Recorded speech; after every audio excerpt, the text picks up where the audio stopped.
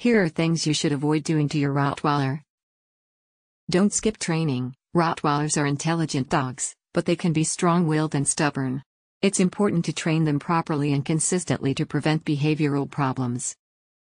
Don't leave them alone for long periods. Rottweilers are social dogs that thrive on human companionship. Leaving them alone for extended periods can lead to separation anxiety and destructive behavior. Don't use harsh training methods. Rottweilers are sensitive dogs that respond best to positive reinforcement training methods.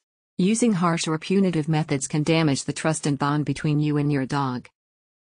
Don't ignore their grooming needs. Rottweilers have a thick, double coat that requires regular grooming to prevent matting and skin issues. Neglecting their grooming needs can lead to uncomfortable and painful health problems. Don't allow them to become overweight. Rottweilers are prone to obesity, which can lead to health problems such as joint issues, diabetes, and heart disease. Keep them on a healthy diet and provide plenty of exercise to maintain a healthy weight. Don't let them roam free. Rottweilers are strong dogs that require a secure and fenced in yard or leash for outdoor activities. Allowing them to roam free can put them and others at risk. Don't neglect their medical needs. Rottweilers are prone to certain health issues such as hip dysplasia, osteosarcoma, and bloat. Regular veterinary checkups and preventative care can help prevent or catch these issues early for better treatment outcomes.